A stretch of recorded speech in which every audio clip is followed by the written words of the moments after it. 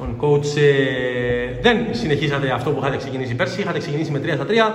Ε, επιστροφή στην δράση. Με ήττα όμως εδώ από τον Γιαγόρα Πατίου, μια πολύ καλή ομάδα. Σε ένα παιχνίδι το οποίο φάνηκε ξεκάθαρα η απουσία νομίζω του Μαρακουδάκη από την κορυφή της επίθεσης. Τι έφταξε και ο Ευκλής ε, δεν πήρε κάτι από αυτό το μάτσο. Κοιτάξτε, το παιχνίδι ήταν ακριβώς έτσι όπως το σχεδιάσαμε.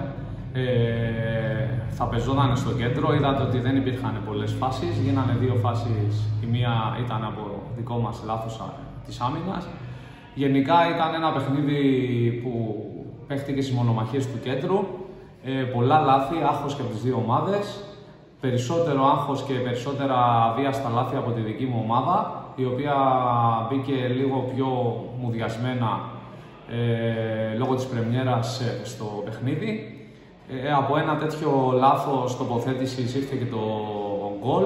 Θεωρώ ότι ήταν καθαρά λάθος ε, σκέψης, ήταν λάθος ε, από άγχος κλπ. Και μπήκε ένα γκολ στην πλάτη, από παλιά στην πλάτη της άμυνας.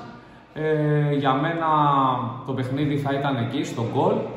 Ε, ευτύχησε ο Διαβόρας να το έχει βάλει αυτός και έτσι έγινε το 0-1.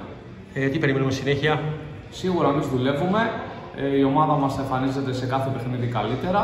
Περιμένουμε και τις απουσίες να ενταχθούν ε, μέσα στο, παιχνίδι.